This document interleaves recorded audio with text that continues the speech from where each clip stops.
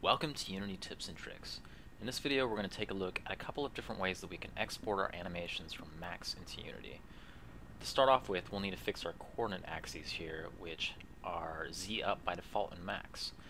Um, but Unity uses Y up so in order to fix this let's go to the hierarchy panel, select affect pivot only and rotate that 90 degrees up so that we have the Y axis right there. Okay, so now we have those axes lined up as good as we're going to get them. And I say that because the x-axis here in Max will actually be flipped in Unity. This is due to the fact that Max uses a right-handed coordinate system, but Unity uses a left-handed one. And to understand the differences between those two, I encourage you guys to do a Google search and just kind of read up on it yourself, because people have explained that far better than I can. Um, so just know that it's something we have to deal with, but it really shouldn't affect anything that we do. Now we're just going to make a couple of simple animations to show movement along Unity's x-axis, actually this way, and its z-axis. So we'll leave pivot mode, move into translation, and start keying it up. Maybe go to 25. Um, Unity's x-axis is the negative x, so we'll do that. And we'll come back to 0 here. Then now we want to move along Unity's z-axis, which see the pivot going along this way. Um, we can start this at 50 again and let's move along here and return that back to zero. So now we'll take a look at the first method of exporting animations into Unity which is to just export it all in one file. So if you come down here to export we'll call this um, companion with all anims. Save that out. We need to make sure we have animation checked, and to preserve the texture, we have embed media. So we'll go ahead and hit OK, and let's look at Unity. So all that stuff pops in there, and let's go ahead and put this into the scene. And when we play this, what we're looking for is that uh, the movement actually is aligned with the axes that we thought they'd be. So we're expecting this to move along the x-axis and followed by a movement in the z-axis.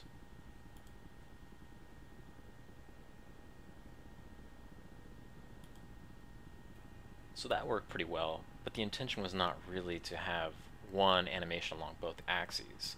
It was more to have two separate animations, each of which moved along an axis. So in order to fix that up, we can come back to the asset here in the project panel and scroll down to uh, animations right here.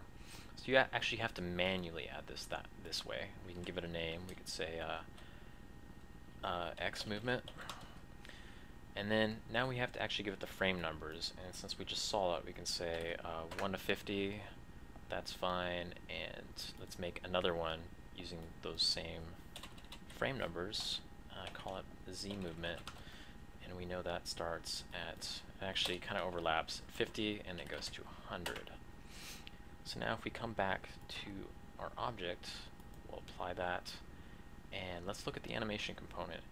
Here it actually lists the first animation as X movement, so when this plays automatically we'd expect just the X to happen now.